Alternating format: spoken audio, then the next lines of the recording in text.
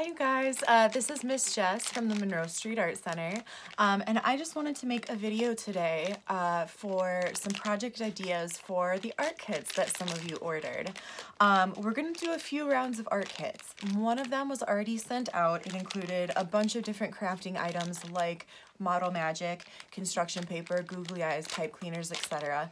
Um, we're going to be sending out our next art kit on Monday, so order one now if you're interested in kind of following along and having something to work on and something to do together while you're at home. Um, today, I'm specifically going to use just a few art supplies out of my art kit, and I mostly want to focus on Model Magic. Um, so take a look in your art kit and grab out a few things today. We're to use Model Magic, uh, pipe cleaner, if you have one of those. Um, grab your googly eyes. I grabbed my green piece of construction paper and then something else. Oh, your glue stick. And then something else that's not in your kit but that you could use for the project I'm going to show you is just a recycled piece of cardboard. Uh, this is literally one that uh, came off of a box of an art supply that I ordered. I'm just going to flip it over and use the side that doesn't have anything printed on it already. Um, so if you want to go ahead and find those things, you can pause the video and then join me once you have them. Um, otherwise, I'm going to go ahead and dive right in. Um, I want to talk about Model Magic for a little bit first before I show you guys exactly what project we're going to do today. Um, Model Magic, I'm going to go ahead and actually cut the top off. They're a little tricky to open sometimes. Model Magic is like a really super fun, awesome version of Play-Doh, kind of. Um, when you first open it, this particular package that you guys received in your art kits is white. Um, kind of my favorite Model Magic to get because you can change it any color you want to. There are packs that you can buy that are already colored and they are super fun to use too, um, but I find that this one's the most versatile, so I order this one a lot. Um, when you first open up your package, you're going to want to use your hands to sort of squeeze it, soften it up. The more that you play with it in your hands, and especially the warmest part of your hands, like your palms, um, the softer it's going to get and the easier it's going to get to work with. Um, so that's what I'm doing right now. I'm rolling my hands back and forth. I'm squishing it, switch it back and forth between my hands. It's a good workout. Okay. Um, I'll show you here too, as you warm it up, it gets really stretchy. So you can just have fun, just play with it for a little bit. It gets super stretchy. And then it all comes back together. Okay? Um, the interesting thing about Model Magic is that it stays soft and moldable as long as it's um, covered up or in sort of an airtight container. Um, if you leave Model Magic out for a few hours, it's actually going to start to harden a little bit. It sort of reminds me of like a hard, like a stale marshmallow once it sets up. Um, so that's something to think about. Um, since I love white Model Magic so much, I only use a little bit at a time. That way I can save a bunch extra in case I want to make something else. So if that's the case, if you just want to take a chunk off for now and save your rest for kind of another project later, it's not a bad idea. Um, I might even just tuck mine back into the wrapper that it originally originally came in. You can put wrap a piece of tape around it if you want to, and that's a good way to kind of keep it for later if you want to. Um, so now I'm going to use this piece and today's project is actually going to be super easy. Anyone could do this. Um, I'm going to make a snake in kind of a garden setting. Uh, so you see on my cardboard, I'm just going to use markers today. You guys can use anything that you want to from home. If you have paints, um, markers, colored pencils, crayons, anything will sort of work to sort of cover this surface. Um, so now with my Model Magic, it's nice and soft, it's ready to go. Um, to add color to it, I'm actually gonna start by rolling a circle or a ball, right? And then squishing it flat like a pancake.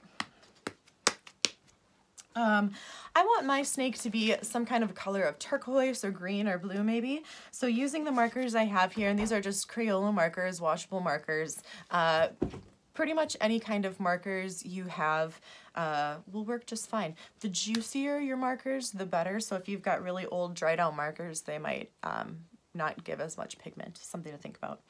Um, so I've got my pancake in my hand. I'm starting out with one of my, this is a graphic green color. Uh, and I'm just coloring right on my Model Magic back and forth like this, right?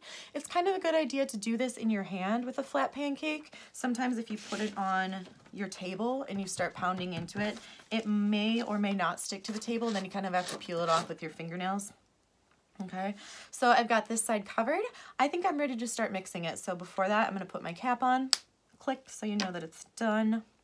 And then you can start to mix up your model magic. A few ways to do this. Um, you can stretch it out kind of like I was just doing. Stretch it and stick it back together. You can just roll it around in your hands. And then you can kind of see it's starting to change. I don't know if you can see from there. Ooh, starting to change color. It's turning a kind of a minty green shade.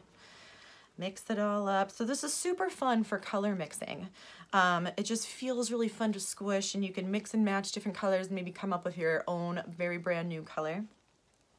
Okay, I think I want it to be a little bit darker than this actually. It's still looking pretty light.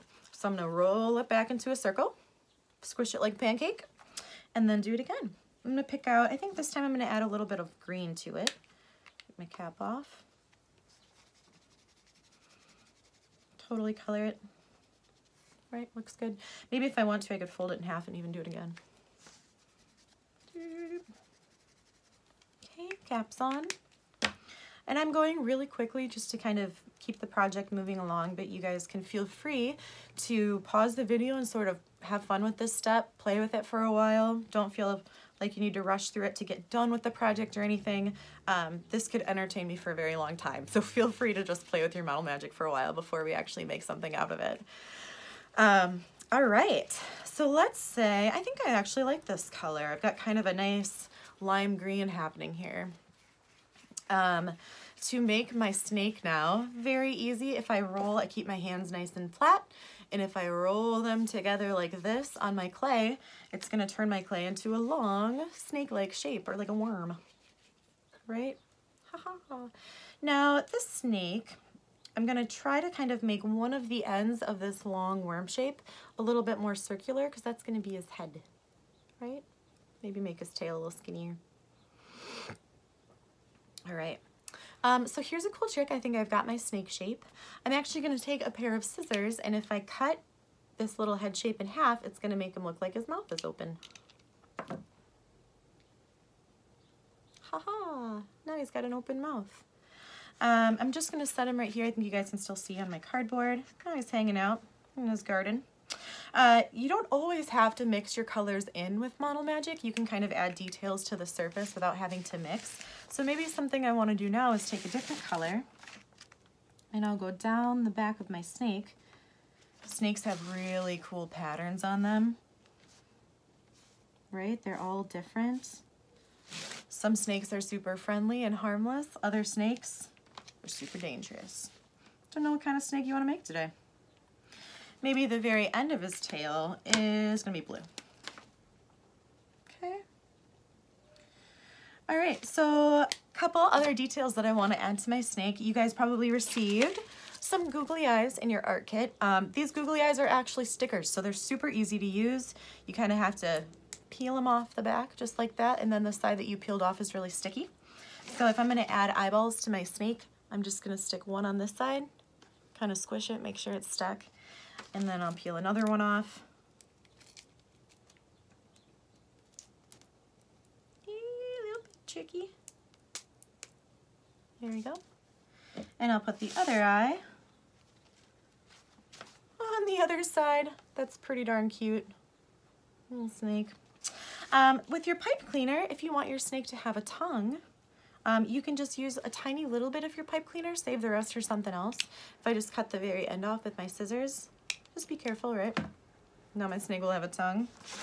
And with my Model Magic, I'll just poke it right into his mouth.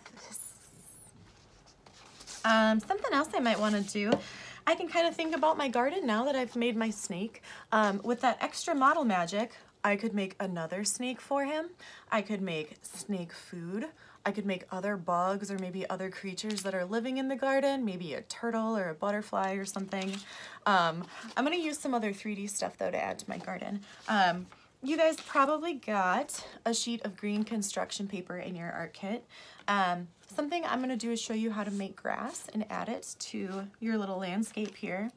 Um, I actually think the first thing I'm gonna do is cut this paper in half and it doesn't have to be perfect. Maybe one way to sort of make it a little easier on myself, if I fold the paper in half and crease it, it's gonna give me a perfect line to follow when I cut it out. So take my scissors, let's cut it right down the middle, the long way. Ta-da. Uh, now, if I take my scissors, I'm actually gonna give this kind of like a fringe. So I'm just gonna make little snips. I don't know if you guys, what's the best way? Like this, fringe all the way up. I'm not cutting all the way through because I don't wanna cut my paper in half, but I just wanna give it all these little sort of slices to make it look like blades of grass, right? All the way up. Great. I can kind of crinkle it up with my fingers if I want to, make it look kind of realistic. Grass isn't perfectly sticking straight up, right? Ta-da. Uh, if I want this grass to sort of pop up off of my background, I'm gonna take my paper and fold just this bottom edge here in half. So I fold it, crease it, crease it, right? So it's got this kind of little tab now. Uh, that's the only spot that I'm gonna put glue and then I'll stick it on my cardboard. So glue stick that you found in your art kit is one of my favorite kinds of glue sticks. It's super duper sticky and awesome. Pull the cap off the top. You can twist it up if you need to.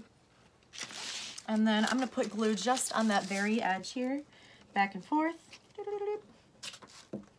I always make sound effects when I do art. so nice and sticky, nice and shiny. And then I think this is gonna go right behind my snake. And I just sort of flatten out that sticky part with my fingers, fix it up if I need to. Right, there's no right or wrong way, but now I've got some snake grass. Okay. Um, you guys can totally get carried away from here. Whatever else you want to make. You do have other pieces of construction paper. There's a, a few different kinds of stickers in every art kit. Um, these stickers I noticed do kind of remind me of a garden, so maybe I want to peel these off and add them to my garden too. Flowers on them, right? Um, so this is just one of many options that you guys can use your model magic for. Um, you have seen people make rainbows, other animals. You can just squish it around and play with it forever and it will stay nice as long as you keep it in that wrapper. Um, so anyways, I would love to see what you guys come up with. Um, if you watch this video today and decide to make something this afternoon, please share it with us. I'm so excited to see the creativity that will come out of this because again, this is just one idea. You guys are super creative and I can't wait to see what you make. Uh, all right, have a great day. I'll talk to you guys later.